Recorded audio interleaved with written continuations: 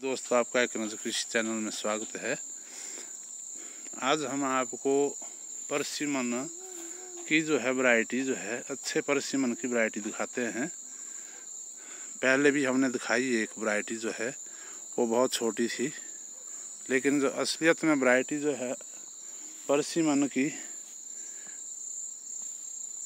बड़े साइज़ में है।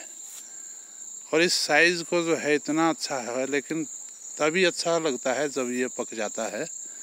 और पकने से कच्चा जो है इसको खाते हैं, लेकिन वो खाने लायक नहीं होता है। इसको बी दाना भी कहते हैं, इसको भी कहते हैं बी दाना। लेकिन ये जो है बड़ा परसिमन है। चलिए दोस्तों, देखिए अब आपको हम जो है, परसिमन जो है, ये जो है पौधा इस वक्त परसिमन का है ये। और ये अच्छी वैरायटी है। इतनी अच्छी वैरायटी है ये जो है।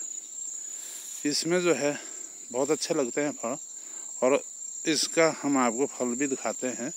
फल जो है, इतना अच्छा है इसका, जो काफ़ी मोटा होता है। यानी कि 100-200 ग्राम के बीच में जो है इसका सैंपल आता है। तो ये देखिए, ये जो है परसिमन है।